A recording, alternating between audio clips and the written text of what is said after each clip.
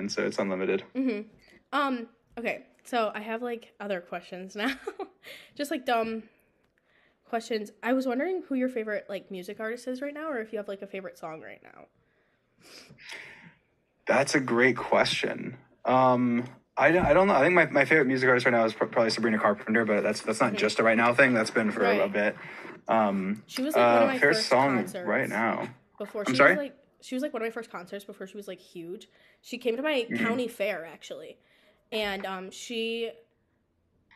I didn't. I barely knew who she was, but like, she's a really good performer. If you have the chance to go to one of her I yeah, I haven't seen I haven't seen her in Mm-hmm. person, unfortunately, yet. But um, yeah, no, I don't know. I don't. I, don't, I feel like with songs, it's hard for me to have like a favorite song, and Yeah, unless I'm just I if I instantly know it because I'm looping it or something. But yeah, no, I have. uh I think I I Sabrina Carpenter is definitely my favorite artist right now. So. Yeah,